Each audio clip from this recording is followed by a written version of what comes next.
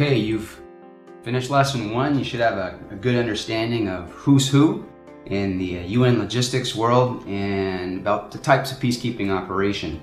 Lesson two now is going to get you into uh, how peacekeeping missions are supported.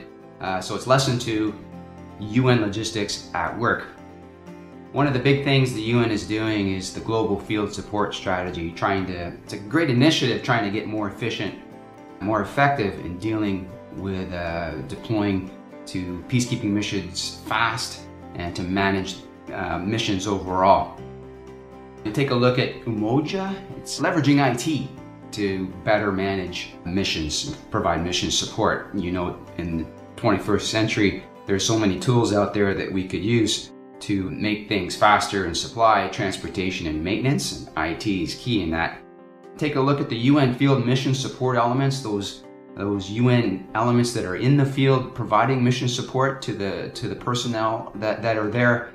And of course, there's UN owned equipment that's going to be used. So lesson two will cover UN owned equipment.